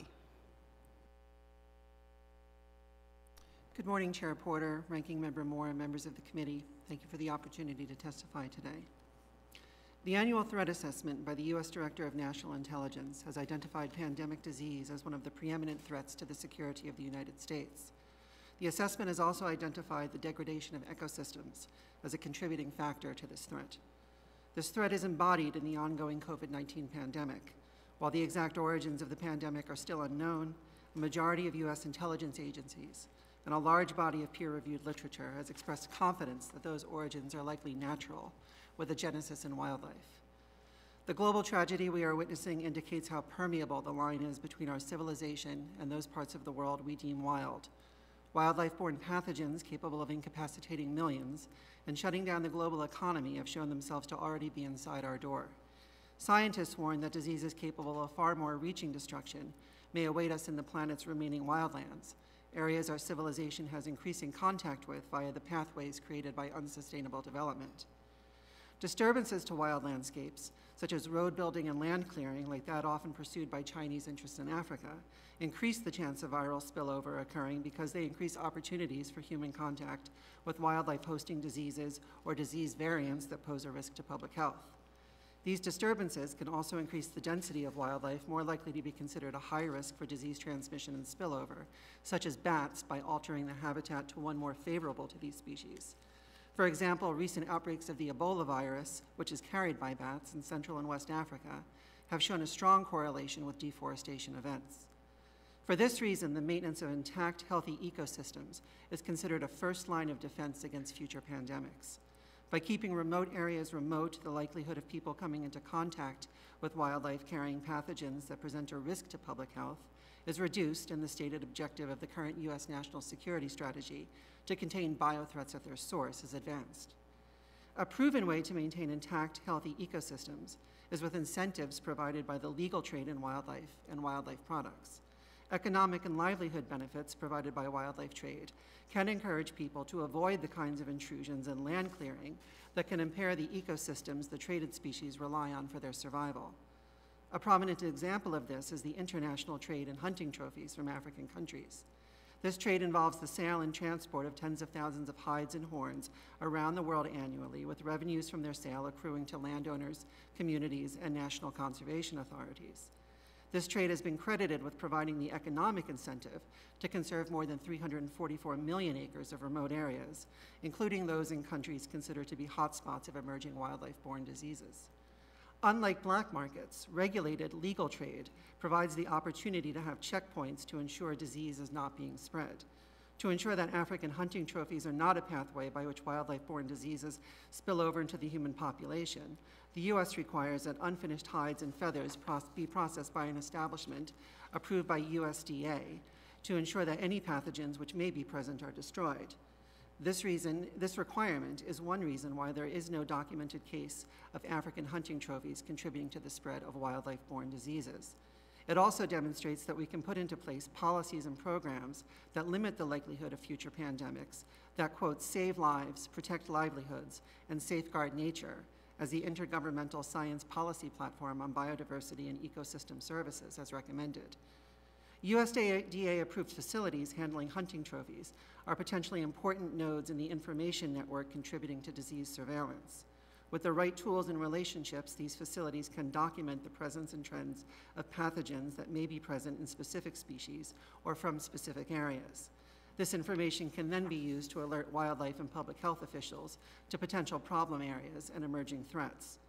Working with African nations to fully engage these facilities as partners in disease surveillance programs should be a priority, and these partnerships should then be looked to as a potential model for how to marry legal, sustainable wildlife trade with disease surveillance.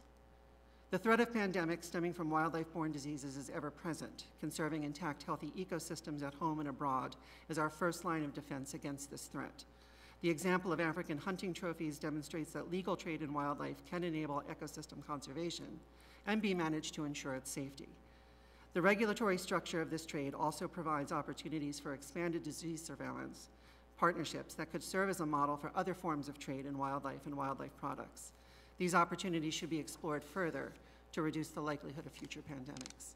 Thank you. Thank you very much. Um, The chair now recognizes Dr. Julie Thornson to testify. Julie Thorstenson Machiapi, lakota. Good morning, my name is Julie Thorstenson. My Lakota name is Waksapi Kiglu Hamniwea. I am Lakota and a citizen of the North, the Cheyenne River Sioux Nation in north central South Dakota. I'm glad to be here as Executive Director of the Native American Fish and Wildlife Society, a 501c3 nonprofit with a mission to assist Native American and Alaska Native tribes with the preservation, conservation, and enhancement of their fish and wildlife resources.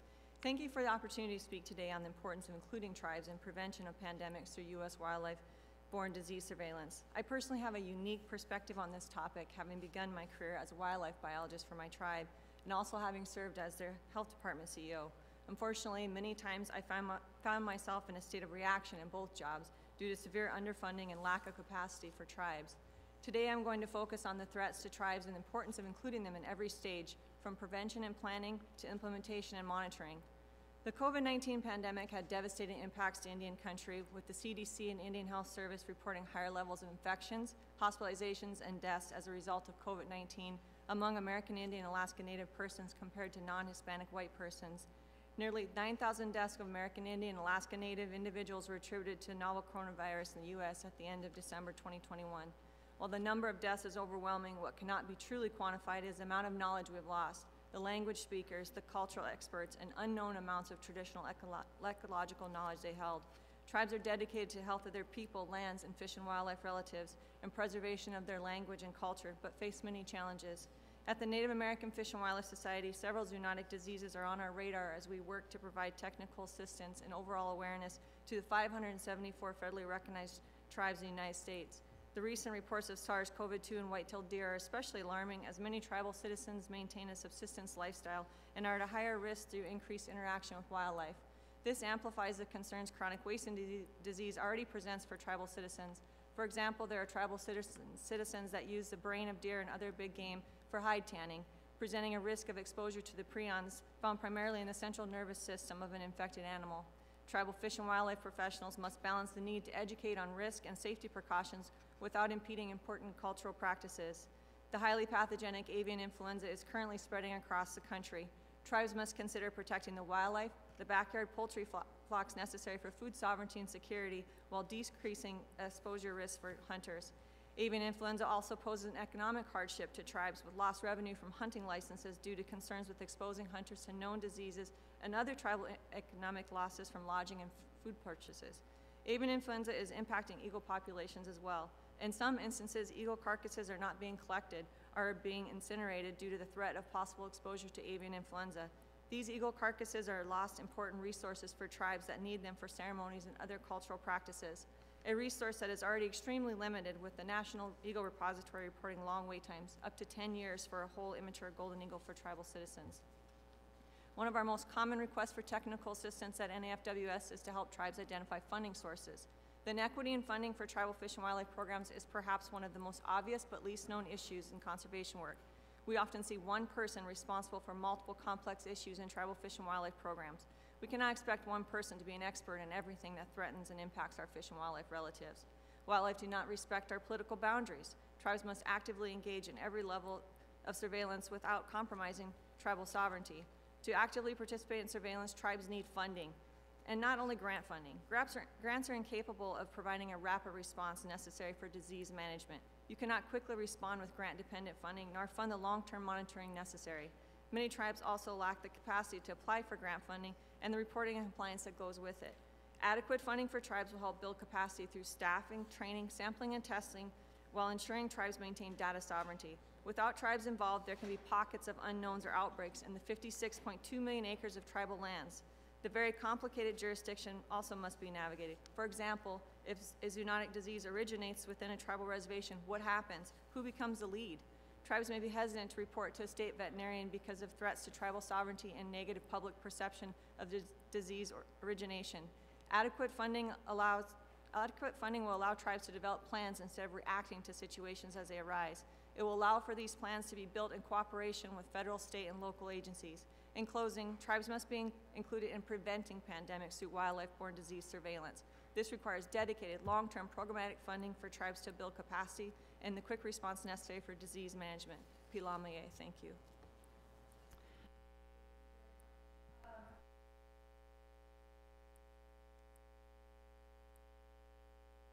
is- sorry, thank the panel for its testimony, reminding members that Committee Rule 3D imposes a five-minute limit on questions. The chair will now recognize members for any questions that they wish to ask the witness. We're going to begin with recognizing the gentleman from California, Mr. Huffman, for five minutes. Thank you, Madam Chair. Um, So I want to continue my line of questioning on mink farming. And uh, I realize that uh, our uh, window of jurisdiction is about wildlife and uh, the habitat that sustains wildlife, and many of the witnesses are appropriately focused on that. But when our oversight uh, authority uh, in that space uh, identifies a problem with much broader implications, I think it's okay to talk about that too. So um, I, guess I would uh, I would bring my question back to um, Mr. Stallnicht. Uh, should we be concerned that USGS is finding elevated levels of COVID in wildlife surrounding mink farms? And uh, while we think about the wildlife and environmental implications of that, should we also be concerned about the broader implications of um, millions of these animals concentrated into these facilities where they are known to contract COVID pretty easily, to spread it, uh, and to have mutations that can go back and forth between humans and mink? As far as spill, spillover from mink farms to the surrounding wildlife, I, I think there is an area of concern. I, I, don't- I don't think we really know what the implications of that are right now, to be quite honest about it. But it's certainly something that should be monitored. But we'll leave it at that. With as far as mink farms go, anytime you concentrate a large number of susceptible animals together under artificial conditions, especially wildlife, you present a potential problem. Goes far beyond Well- me. And I appreciate the fact that we are doing the surveillance uh, work in the surrounding area. Uh, But I guess what I'm wondering is if, if someone can tell me, are we surveilling the mink farms themselves? Because it seems like that is a far greater concern if, uh, in terms of this pandemic. The worst thing we could possibly happen as we try to emerge from this pandemic, of course, is a mutation that throws a monkey wrench at us. Uh, and so if we are not doing that same kind of surveillance in the mink farms themselves, surveillance being maybe the first step, maybe more. I mean, Denmark euthanized, I think, 17 million of these animals because of a massive COVID outbreak in one of their mink farming operations. So, um, do you know of any surveillance within the industry itself in these farms? Uh, I guess that's directed to me. I, I do, I do not. This is, this is an area that we do not work in. Yeah. Uh, So. it- And I'm sorry to put you on the spot there, but let me just ask if any of the other witnesses, you know, want to add to um, to what you have said or speak to the concerns that I'm raising, because I, I find it, um, you know, frankly, quite alarming.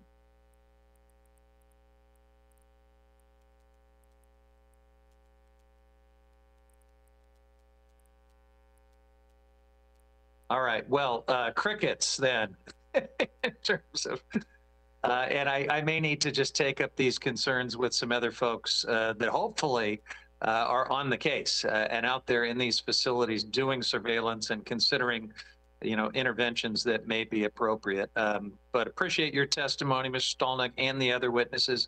Madam Chair, I'll yield back. Thank you very much. The chair now recognizes Mr. Hice, the gentleman from Georgia. Thank you so much, Madam Chair, and to each of our witnesses, we appreciate you being here uh, a great deal. Dr. Stallnick, I'd like to begin with you, uh, and, and I will begin by saying, Go Dogs. Uh, welcome, UGA. Glad you're here with us today. Uh, in your testimony, you stated that there have been five pandemics and two near misses in your lifetime. Uh, and I'd like, if you could, to expound upon which country each of these viruses originated in. Could you do that? I'll, I'll, I'll, give you more of a region than a, than a, than a country. Uh, as, as far as the two, the two uh, influenza pandemics, 57 and, and the H2N2 and the H3N2, our best guess is that these originated from Asia. Pandemic H1N1 was actually a real surprise. And that actually originated uh, in the Western Hemisphere. Uh, exact location, we don't know, but it, it really it resulted from some, some re recombination, reassortment events with, with swine influenza viruses. Um, HIV, Africa, and SARS coronavirus from Asia. Uh, Ebola, the new near misses, Ebola, Africa, and then SARS, the original SARS uh, virus from Asia. Okay, thank you very much. Yeah, so we, we have uh, multiple different places around the world, a couple from Africa, three from China, we've got Hong Kong, we've got Mexico. So, Ms. Simpson, let me come to you with this. Uh, can you describe, and I, I'll just use this one as a specific, uh, can you describe how China's Belt and Road Initiative has negatively impacted Africa's defense against these viruses? Thank you for that question. The Belt and Road Initiative is primarily a, an infrastructure initiative, but more than that, it's also a cultural exchange initiative. And one thing that's occurring within the context of Belt and Road is the promotion and expansion of traditional Chinese medicine um, along the Belt and Road. Uh, China is actively promoting traditional Chinese medicine um, as an alternative to Western medicine.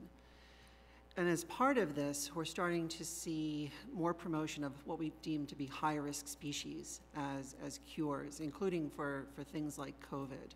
So for example, the Chinese Communist Party was promoting pangolin scales for some time uh, as a potential cure for COVID. Um, we know that this is quack medicine, uh, of course. Um, we also know that it increases the risk of wildlife-borne diseases being transferred into the human population since pangolins are, are a species of, of particular high risk uh, for spillover. So has it negatively impacted Africa's uh, defense? Would you yes or no with that?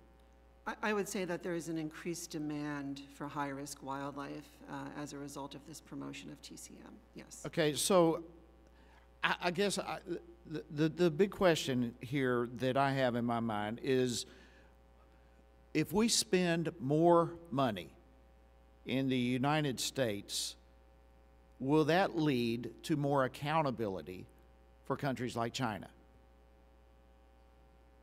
I'm not certain it's an either or situation. I think that we need to shore up our defenses in the homeland um, for sure. Um, but we also do need to hold bad actors accountable internationally. Um, Wildlife-borne pandemics are a potential existential threat to humanity. You know, we've already seen what COVID-19 has done. We have nearly a million dead Americans, uh, 80 million sick, and that's just in this country. We've got a global economy that's been severely impacted by the pandemic. We can't do this alone. This has to be an international effort. And yeah, and that's that the problem. That's the problem. It, it, it's, a, it's, it's an issue that involves the international community. So just simply the United States spending more money does not mean this fixes the issue in China or in other countries. Is that correct? It doesn't fix the, the issue in those countries, but it will make it easier for us to defend ourselves should they fall um, and um, not do what is expected of them. Yeah, and I, and I get that, but we, we have to do both. We have to defend our country and our people and so forth, but at the same time, others have to be held accountable. And simply us spending more money does not produce accountability elsewhere, and that issue must be, I believe, must be on the table. I agree. Thank you very much. I yield back. Thank you. Um, The chair will now um, recognize yourself for five minutes. Um, Dr. Thorstenson, what would it mean for the tribes that you work with to have dedicated, consistent funding? Well, I will tell you that for the most part, tribes operate in a uh, piecemeal type project for tribal fish and wildlife programs. They, they don't have any, there is no base funding for tribal fish and wildlife programs. So having dedicated funding that they can rely on, that will help to, to build uh, sustainable long-term programming instead of having someone that's focused mostly on reporting and, and securing their job through grant funding. So I think it would uh, definitely help to bring tribes to a, a different level and be at the table that they have been left out of for so long. Do you see it as potentially helping to improve coordination between the work, sustain the work that the tribes are trying to do, but then also bring that information and learning and connect it to the federal researchers and state researchers working on this? Yes, absolutely. I, I think um, it's not that tribes aren't doing the work. It's not that they don't want to be involved. It's that they simply don't have the capacity to be there.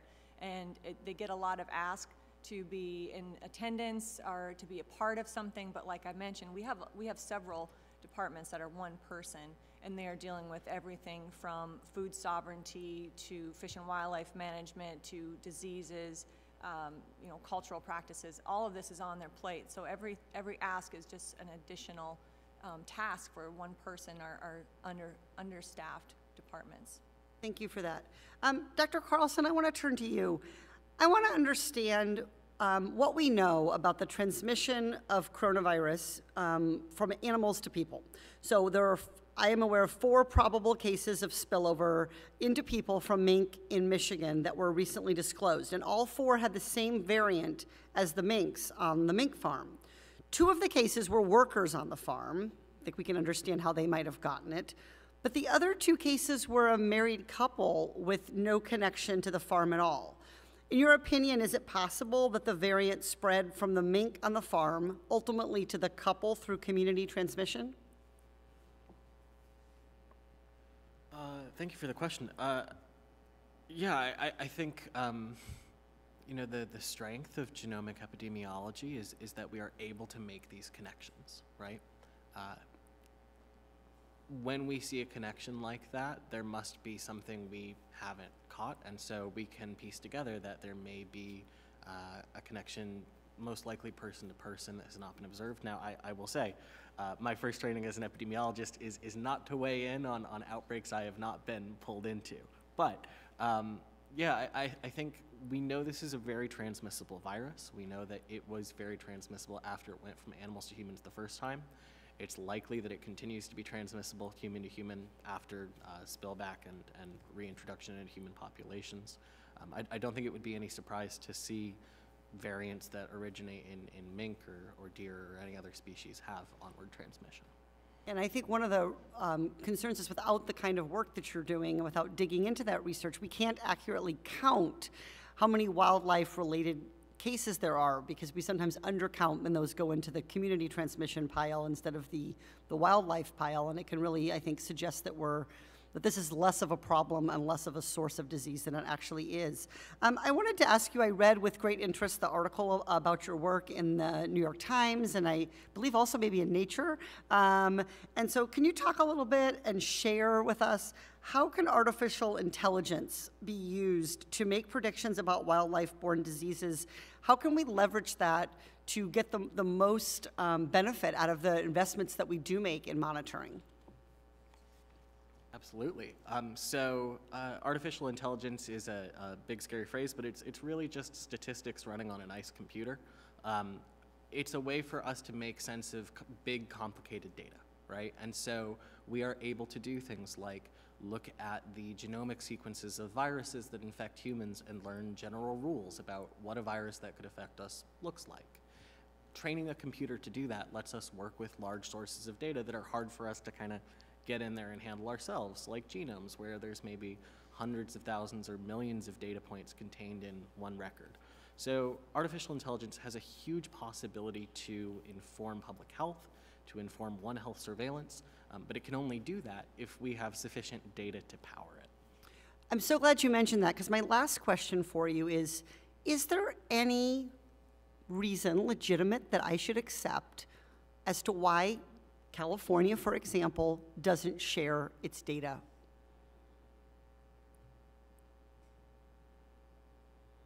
There are challenges that arise around, I think, not just data sovereignty, but accountability for how we use data.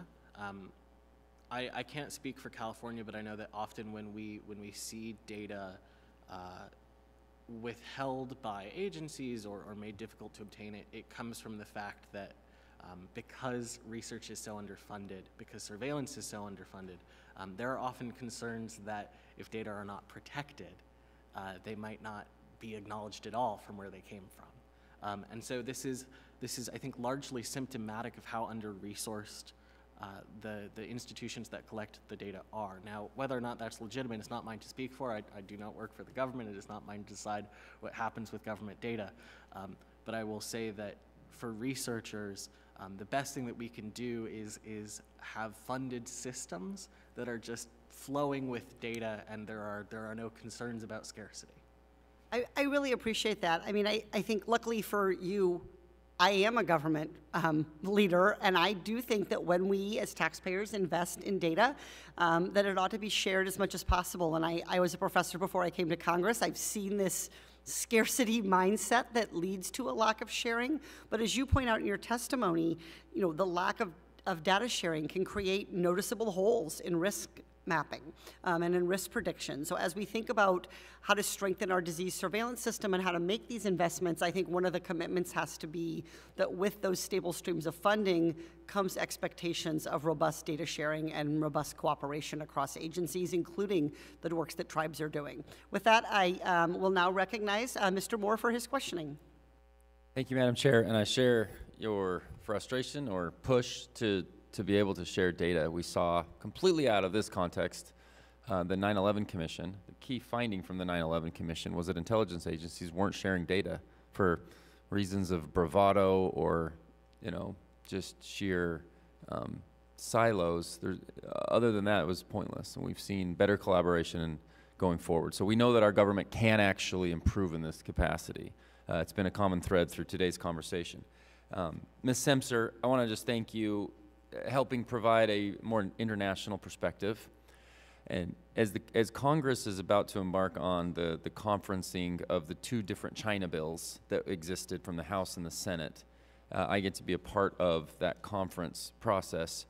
It, I can't underscore the importance of the impact that China will have on any on, on, on the on the entire world. We don't, you know, we want to talk climate change all we want, if we don't get China under control, there's nothing that we can do about the amount of the effect that they have, the outsized effect that China has in a negative way um, across so many different factors. Your focus today on particularly with, with spread and pandemic and um, is, is key to this conversation. So thank you again for being here. Uh, can you uh, can you describe, just jump into how illegal activities like wildlife trafficking create environments that, um, that increase the risk of disease spillover between species? So in the context of wildlife trafficking, um, what we often find is that traffic wildlife is crammed together. Um, you've got suitcases full of birds or turtles. You've got shipping containers full of any number of, of different species. And as the other witnesses have discussed, when wildlife is crammed together in close, close confinement, um, the, the risk of, of spillover um, from one species to another um, and mutation is, is, increased. Um, this is a consequence of, of illegal trade because the, the fact that it is a black market means that no one is, is doing any type of disease monitoring for these species. The, um, give, give us a sense for the increased risk with this uh, of spillover impact, the likelihood of future pandemics. So specifically with this issue and how it will ultimately af- affect future pandemics? Well, I can't assign a number to it. Um, You know, I, I don't have the data to, to be able to do that. But unless we get a handle on illegal wildlife trafficking, um, we are likely going to see the risk of pandemic disease increase. Um, Since the COVID-19 pandemic has broken out, um, there's been a lot of talk about increasing the global response to illicit wildlife trafficking, um, but we haven't seen much deployed on the ground. Uh, I'm on the advisory board uh, of the Game Rangers Association of Africa, which is the largest professional association of conservation law enforcement officers on the continent. Um, frankly, a lot of, a lot of our, our members are struggling for resources. And these guys are the first line of defense um, in wildlife trafficking. These are the ones who are going to stop that pangolin or stop that civet from getting into that shipping container. Um, they're the ones who are going to potentially keep the biothreat close to the source of origin. Um, but the resources are, are, are just not there. And the pandemic, frankly, has made it worse because many of them were dependent on revenue from tourism, which obviously has declined in the wake of the global tourism shutdown.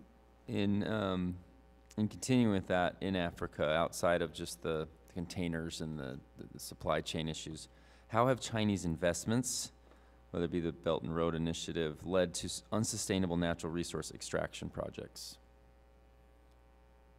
Well, when we talk about Chinese investments, you know, that is not a monolithic, um, you know, area. Uh, McKinsey and Company says there's about 10,000 small to medium-sized enterprises um, that are owned by Chinese nationals operating on the African continent. And many of these are perfectly legitimate businesses. However, a, unfortunately significant number of them are engaged in activities that are reliant on criminal activity or government corruption to, um, to, to produce what it is they're seeking to produce. And this is particularly prevalent in the forestry sector, uh, where we see Chinese companies engaging in illegal logging, exporting raw logs off of the African continent to China to be finished. Um, Of course, this deforestation, as I mentioned in my, my opening statement, contributes to the increased risk of, of viral spillover. Um, Now, what happens to these raw logs, you know, once they reach China? Well, very often they're made into furniture that we then purchase. So there is a very um, troubling loop occurring here that um, unifies our two countries and also puts us in a position to, to hold China accountable to make sure that its nationals are not engaging in this illegal activity, um, not enabling corruption on the African continent, um, and, and are, are enforcing their own laws to make sure that pandemic risk is not increased. And it's easy to it's easy to complain about this. I find myself doing it quite a bit. We it's easy to point the finger at what China is doing, both in their own country and in their investment opportunities across the world. Uh, welcome your input and expertise in helping us drive towards solutions, and we'll always be open to those those ideas and collaboration. So thank you. I yield back. Thank you very much. The chair now recognizes the gentlelady from Iowa, Ms. Axne, for five minutes.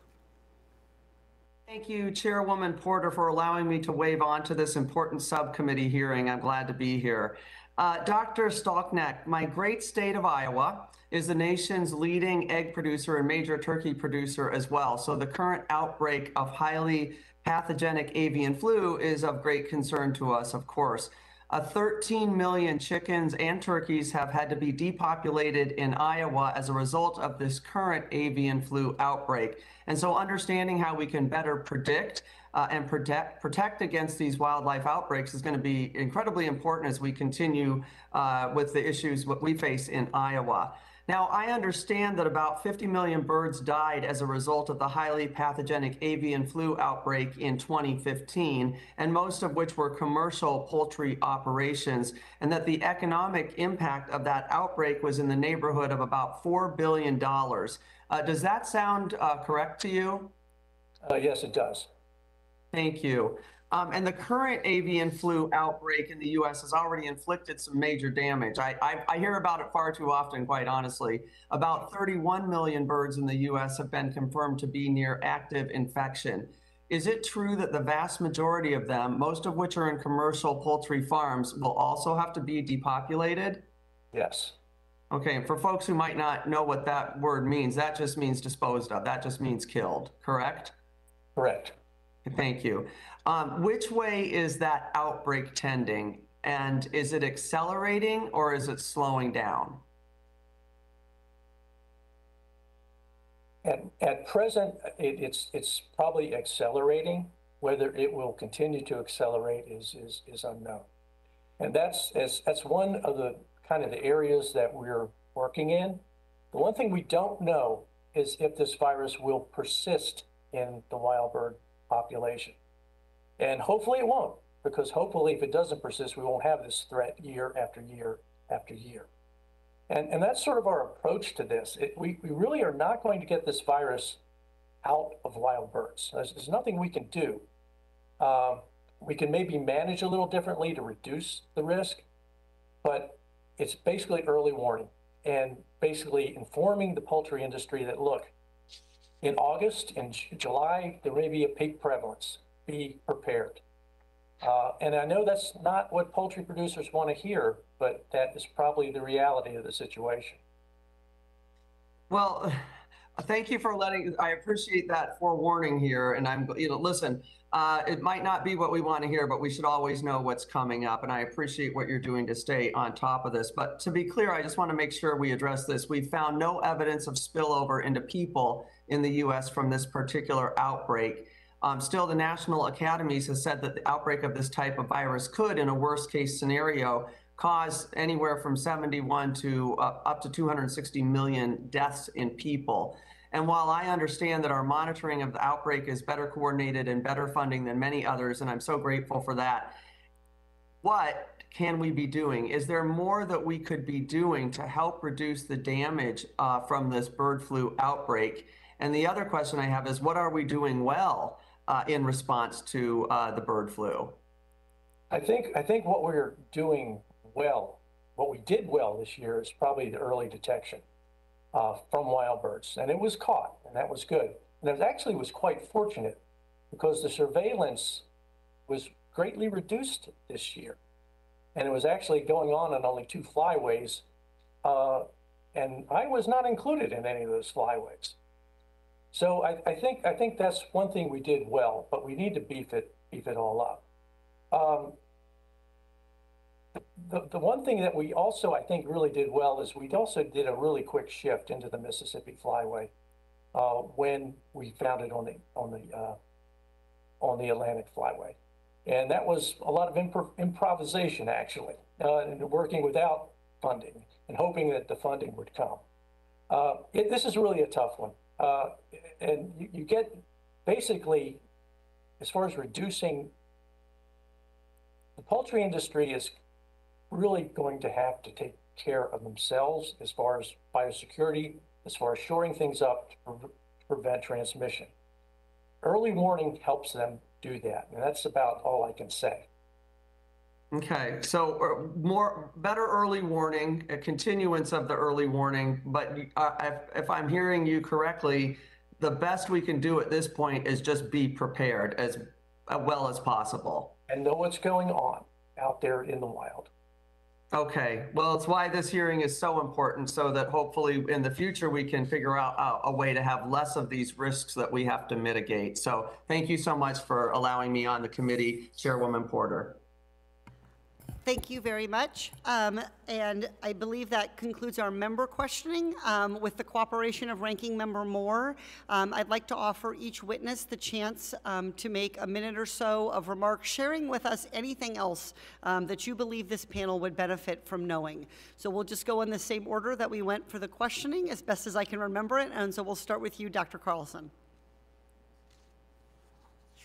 Sure. I, I think just to respond to some of the things that have come up today, I think it is important to note that the landscape of risk is changing very rapidly for disease emergence.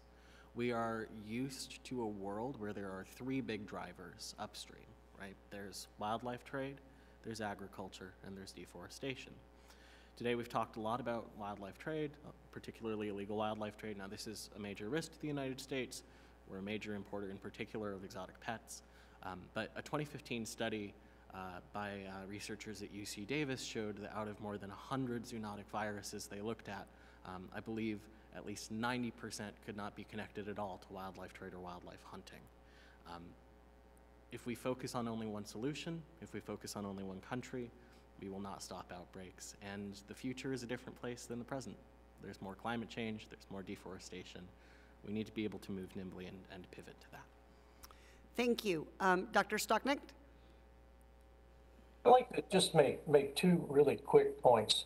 Uh, a lot of the diseases that we are talking about today also have pretty severe wildlife impacts. And this is important for a Natural Resources Committee to understand. This, this outbreak of highly pathogenic influenza is also really having impacts on bald eagle populations. Uh, in Georgia, we've seen close to a 40% reduction in productivity on our coastal uh, nesting populations. And uh, the second thing I, would really want to sort of address, been a lot of talk on interagency cooperation and, and, and how, we, how we work together. Uh, with influenza, we are, SCWDS is also a part of the uh, NIH Centers of Excellence for Influenza uh, Research and Response. And everything that we get from the, from the wild, from a wild bird, we're actually submitting to NIH researchers to do the assessments to really understand the potential for human disease.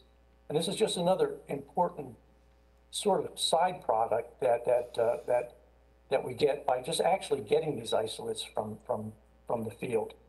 And I also would like to just sort of build on, on what was said about tribal preparedness and the lack of people. The, uh, the, the, states are suffering from the same, the same thing. We, there are many states in our cooperative that have one person dedicated to wildlife disease throughout for the entire state. And we're talking about a lot of species here. Thank you.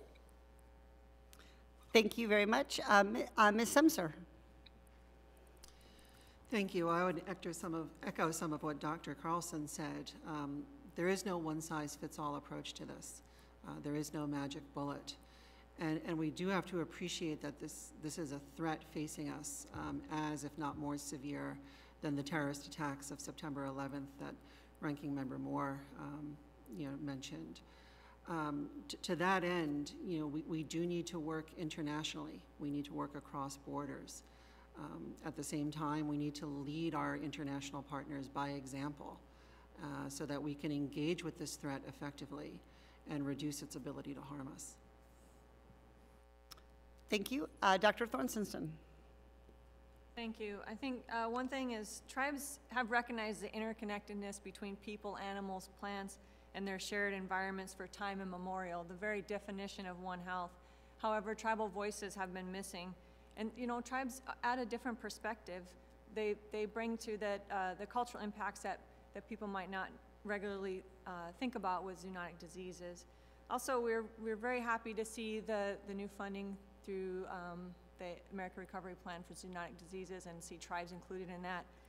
However, you know, grants, grants, uh, oftentimes we have to write to the grant priorities and it, it undermines tribal sovereignty. It, it limits us, uh, it limits us in being able to, tribes to be able to write to their own and set their own priorities. And also it, it pits tribes against each other where there's a small pot of money where 574 federally recognized tribes have to compete and it, it undermines and it's hard to collaborate when you might have a neighboring tribe. It's hard to collaborate when you're after the same pieces of, of funding.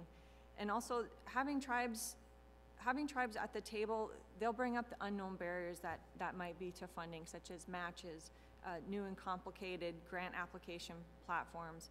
And I would just really, I really um, urge you to consider self-determination uh, rather than than grant processes in the future for tribes. There's lots of authorities through Indian Self-Determination Education Assistance Act that already exists that can help tribes to receive funding that would be more sustainable and, and dedicated and, and less burdensome to, to them. Thank you. Thank you very much for offering those concluding thoughts. It was very helpful. Um, before and during this hearing, experts have warned us that surveillance of wildlife-borne diseases is inadequate in the United States and that we may miss signs of outbreaks that could cause significant harm to human health, to wildlife, and to the economy. You, as experts, have told us that if we want better tracking, we need to provide consistent funding that doesn't pit stakeholders against each other. We need to invest in the infrastructure and the people who are already doing this important work, and we need to bring together people from different sectors with a diverse expertise to talk to each other and coordinate their efforts. I'll be putting together a bill to make sure that our nation is prepared to address these potentially serious risks, and I invite Ranking Member Moore and his colleagues to cooperate and collaborate on this process. I thank the witnesses for their valuable testimony and the members for their questions. The members of this committee may have some additional questions for the witnesses, and we will ask you to respond to those in writing. Under Committee Rule 3.0, members of the committee must submit witness questions within three business days following the hearing, and the hearing record will be held open for 10 business days for these responses. With that, the committee is now adjourned.